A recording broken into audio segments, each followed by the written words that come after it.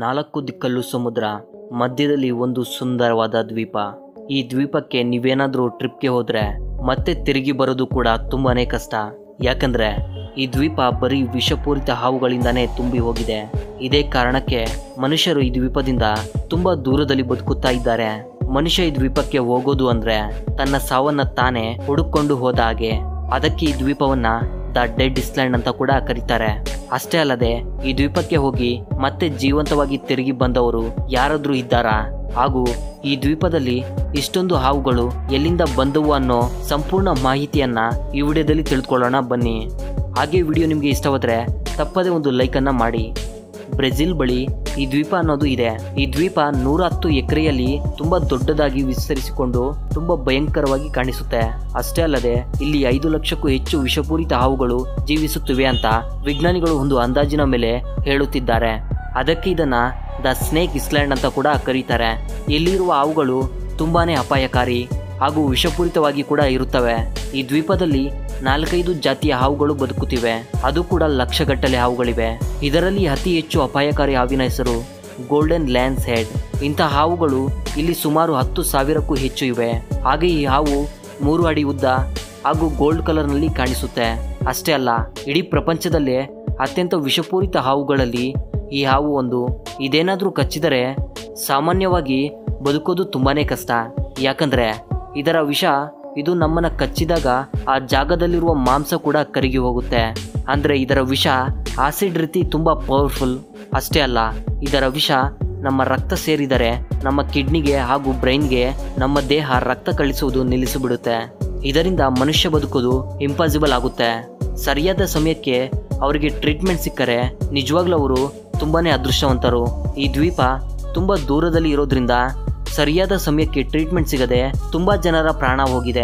ಪ್ರಪಂಚದಲ್ಲಿ ತುಂಬಾ ವಿಷಕಾರಿಯಾದ ಹಾವು ಈ ದ್ವೀಪದಲ್ಲೇ ಹೆಚ್ಚಾಗಿ ಕಾಣಿಸುತ್ತೆ. ಬೇರೆ ಪ್ರದೇಶಗಳಲ್ಲಿ ಈ ಹಾವು ಕಾಣಿಸುವುದು ತುಂಬಾನೇ ಕಡಿಮೆ. ಹಾಗೆ ಈ ದ್ವೀಪದಲ್ಲಿ ಬೇರೆ ಯಾವ ಪ್ರಾಣಿ ಕೂಡ ಬದುಕಲು ಸಾಧ್ಯವಿಲ್ಲ.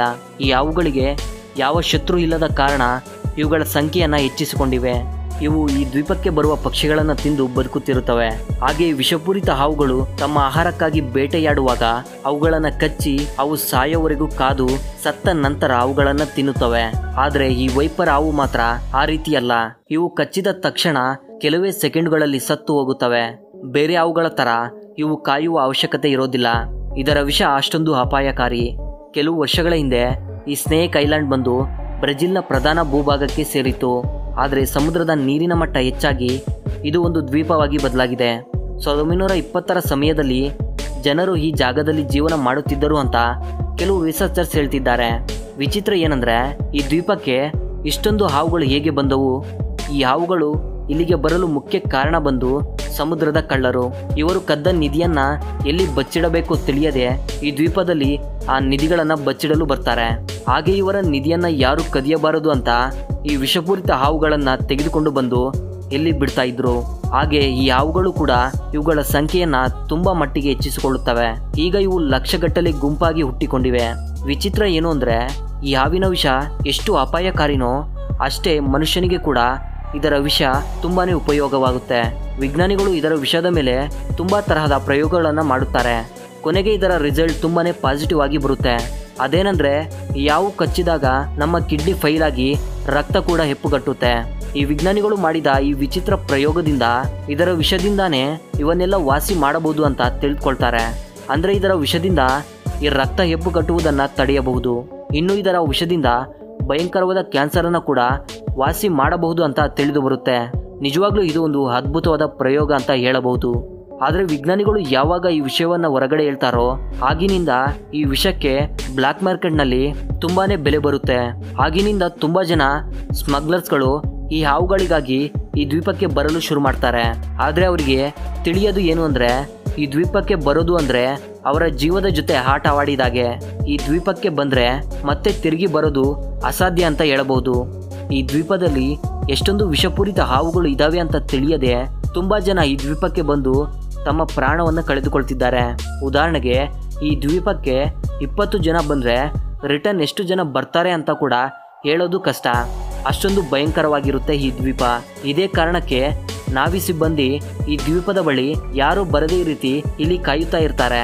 ಆದ್ರೆ ಈ ಸ್ಮಗ್ಲರ್ಸ್ಗಳು ತಮ್ಮ ಪ್ರಾಣವನ್ನು ಪಣಕ್ಕೆ ಇಟ್ಟು ಇಲ್ಲಿಗೆ ಯಾಕೆ ಬರಬೇಕು ಅಂತ ಪ್ರಯತ್ನ ಮಾಡ್ತಾರೆ ಅಂದರೆ ಈ ಯಾವಿನ ವಿಷ ಬ್ಲ್ಯಾಕ್ ಮಾರ್ಕೆಟ್ನಲ್ಲಿ ತುಂಬಾ ಬೆಲೆ ಬಾಳುತ್ತೆ. ಎಷ್ಟು ಬೆಲೆ ಬಾಳುತ್ತೆ ಅಂದರೆ ಎಂಟು ಲಕ್ಷದಿಂದ ಮೂವತ್ತು ಲಕ್ಷದವರೆಗೂ ಬೆಲೆ ಬಾಳುತ್ತೆ. ಈ ಬೆಲೆ ಆಗಾಗ ಹೆಚ್ಚು ಕಡಿಮೆ ಕೂಡ ಆಗ್ತಾ ಇರುತ್ತೆ.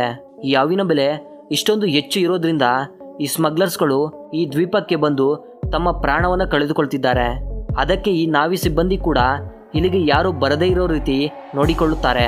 ಆದರೆ ಇಷ್ಟೊಂದು ಭಯಂಕರವಾದ ಈ ದ್ವೀಪದಲ್ಲಿ ಒಬ್ಬ ವ್ಯಕ್ತಿ ವಾಸವಿದ್ದ. ಈ ದ್ವೀಪದಲ್ಲಿ ಇರುವ ಲೈಟ್ ಹೌಸ್ನಲ್ಲಿ ಒಬ್ಬ ವ್ಯಕ್ತಿಯನ್ನ ಅಲ್ಲಿನ ಸರ್ಕಾರ ಇಟ್ಟಿತ್ತು. ಇಲ್ಲಿ ಯಾವ ವಿಜ್ಞಾನಿಗಳಾದರೂ ಬರಬೇಕು ಅಂದರೆ ಅಲ್ಲಿನ ಸರ್ಕಾರದ ಪರ್ಮಿಷನ್ ತೆಗೆದುಕೊಂಡು ಹೋಗಬೇಕು.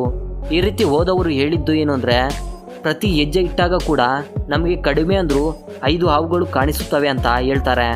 ಬೈ ಮಿಸ್ಟೇಕ್ ಏನಾದರೂ ಈ ದ್ವೀಪಕ್ಕೆ ಬಂದರೆ ತುಂಬ ಹುಷಾರಾಗಿ ಇರಬೇಕು.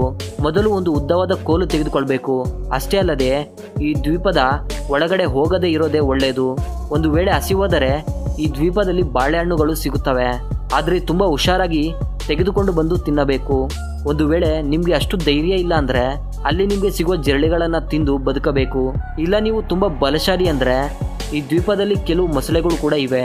ಅವುಗಳನ್ನು ಕೊಂದು ಅವುಗಳ ಮಾಂಸವನ್ನು ತಿನ್ನಬಹುದು. ಇದು ಕೆಲವು ದಿನಗಳು ನೀವು ಬದುಕಿರಲು ಮಾತ್ರ.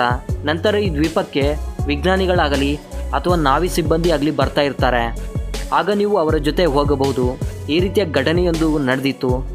ಒಬ್ಬ ಮೀನು ಹಿಡಿಯುವ ವ್ಯಕ್ತಿ ತಿಳಿಯದೆ ಈ ದ್ವೀಪಕ್ಕೆ ಬರ್ತಾನೆ. ಆದರೆ ತುಂಬ ಹಸಿವಾದ ಕಾರಣ ಈ ದ್ವೀಪದ ಒಳಗಡೆ ಇರೋ ಬಾಳೆಹಣ್ಣನ್ನು ತಿನ್ನಲು ಈ ದ್ವೀಪದ ಒಳಗಡೆ ಹೋಗ್ತಾನೆ. ಆದರೆ ಇಲ್ಲಿರುವ ತುಂಬ ಹಾವುಗಳು ಕಚ್ಚಿಬಿಡುತ್ತೆ. ಪ್ರಾಣ ಭಯದಿಂದ ಅಲ್ಲಿಂದ ಓಡಿ ಹೋಗ್ತಾನೆ. ಆದರೆ ದಾರಿ ಮಧ್ಯದಲ್ಲಿ ಸತ್ತು ಹೋಗ್ತಾನೆ. ಅದೇ ರೀತಿ ಒಂದು ದಿನ ಈ ಲೈಟ್ ಹೌಸ್ನಲ್ಲಿರುವ ವ್ಯಕ್ತಿ ರಾತ್ರಿ ಮಲಗುವಾಗ ಕಿಟಕಿ ಬಾಗಿಲು ಹಾಕೋದು ಮರೆತು ಹಾಗೆ ಮಲಗಿಬಿಡ್ತಾನೆ ಆದರೆ ಈ ವಿಷಪೂರಿತ ಹಾವುಗಳು ಈ ಕಿಟಕಿಯಿಂದ ಒಳಗಡೆ ಬಂದು ಈ ವ್ಯಕ್ತಿಯನ್ನ ಕಚ್ಚಿಬಿಡುತ್ತವೆ ತಕ್ಷಣ ಪ್ರಾಣ ಉಳಿಸಿಕೊಳ್ಳಲು ಓಡಿ ಹೋಗ್ತಾರೆ. ಆದರೆ ಇವರು ಕೂಡ ದಾರಿ ಮಧ್ಯದಲ್ಲೇ ಸತ್ತು ಹೋಗ್ತಾರೆ. ಈ ಭಯಂಕರವಾದ ಘಟನೆ ನಡೆದ ನಂತರ ಇಲ್ಲಿ ಯಾರನ್ನ ಕೂಡ ಇರಲು ಬಿಡುತ್ತಿಲ್ಲ. ಆಗಿನಿಂದ ಈ ಲೈಟ್ ಹೌಸ್ ಕೂಡ ಆಟೋಮೆಟಿಕ್ ಮಾಡಿದ್ದಾರೆ. ಇಷ್ಟೊಂದು ಘಟನೆಗಳು ಆಗ್ತಾ ಇದ್ರು ಈ ಸ್ಮಗ್ಲರ್ಸ್ಗಳು ನಾವಿ ಅವರ ಕಣ್ಣು ತಪ್ಪಿಸಿ ಬರ್ತಾನೆ ಇದ್ದಾರೆ. ಈ ಕಾರಣಕ್ಕಾಗಿ ಈ ದ್ವೀಪಕ್ಕೆ ಇನ್ನೂ ಹೆಚ್ಚಿನ ಸೆಕ್ಯೂರಿಟಿ ಕೊಡಲಾಗಿದೆ. ಓಕೆ ಥಿಂಕರ್ಸ್, ಈ ವಿಡಿಯೋ ಇಷ್ಟವಾದರೆ ತಪ್ಪದೇ ಒಂದು ಲೈಕನ್ನು ಮಾಡಿ. ಹಾಗೆ ಇನ್ನೂ ಹೆಚ್ಚಿನ ವಿಡಿಯೋಗಳಿಗಾಗಿ ಕೆಳಗೆ ಕಾಣಿಸುವ ಸಬ್ಸ್ಕ್ರೈಬ್ ಬಟನ್ ಕ್ಲಿಕ್ ಮಾಡಿ. ಅದು ಕೂಡ ಫ್ರೀಯಾಗಿ ಯಾವುದೇ ಹಣ ಕೊಡುವ ಅವಶ್ಯಕತೆ ಇರೋದಿಲ್ಲ. So please subscribe